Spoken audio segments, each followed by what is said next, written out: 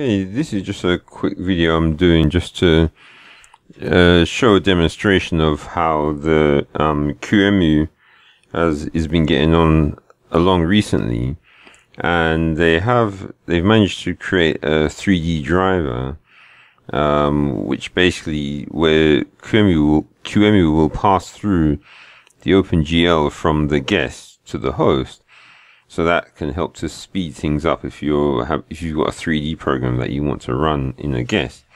As far as I know, they haven't made any progress on getting a driver for Windows. So of course, most people won't be too interested. But this is just for if you want to actually have something OpenGL running on your guest machine. And basically, you have to have a new enough distribution running because it has to have at least kernel 4.4 on the guest in order so that the VirtIO GPU, um, uh, um, yeah, DR, so, sorry, DRM driver is running. And basically, to get that to work, you have to, um, there's a few commands that you have to or settings you have to put into QEMU in order so that it will run with the 3D. And basically, um, the easiest one to use is, is SDL. So as long as it's compiled with SDL2, and you have to specify that the OpenGL is on, and then the VGA is VirtIO. And so when you run it um, in that way, when the virtual machine starts up,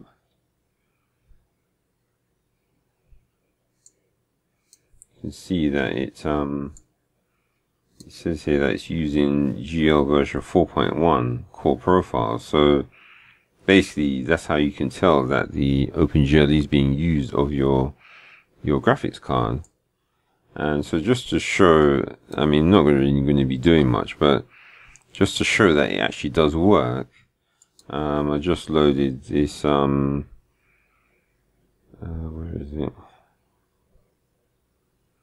Yeah, Stunt Rally, yeah. I mean, it's just, a, it's just some driving game, but it just has this option whereby you can actually sort of record.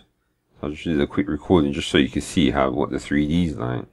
Of course, my, the actual driving is useless, but it's just, I just did it just so I could actually have something to show.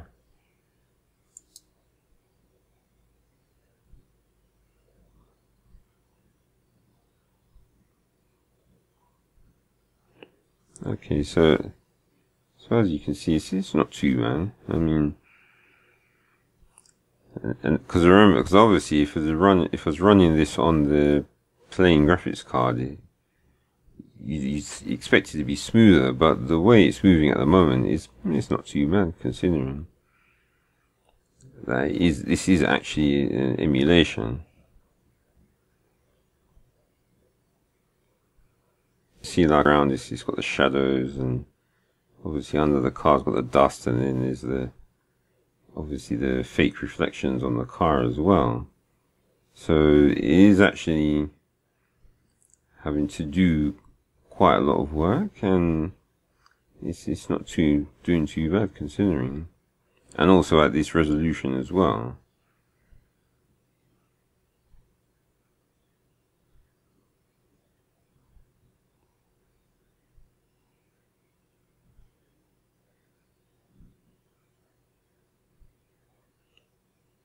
You have to worry it's not too long so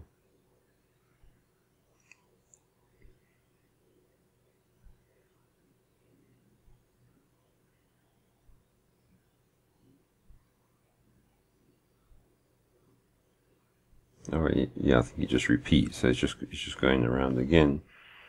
All right, so yeah, so basically that's to show that the Virgil renderer is obviously working very well, and they've made some good progress on it. I've got no idea if they're ever going to be able to do a Windows one because obviously that's what the majority of people are waiting for. Um, because well, most people just want to use Windows for their programs, but if you're using a Unix-based system, then the Xorg and the kernel um, already have um, a driver in there. Oh yeah, this is another thing is that the it seems sometimes it does lock up, so you might want to try and get a newer distribution as as you can um, when you run it. So obviously there's going to still be a lot of bugs in it. Um, but anyway, yeah, like I said, just a quick demonstration to show that it does work and just in case anyone's interested. Okay, see you in the next video. Bye.